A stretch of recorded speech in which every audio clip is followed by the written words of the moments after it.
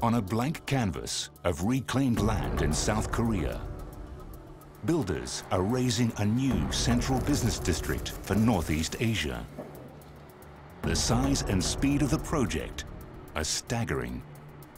Songdo City boasts eco-friendly apartments, a convention center, trade tower, and Central Park. Songdo is a fresh canvas to create the world's greatest city uh, from scratch that will become the hub of Northeast Asia.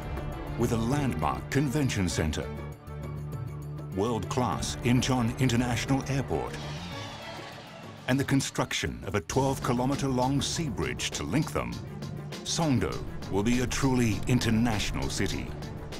It'll also be a green city, built with global warming firmly in mind.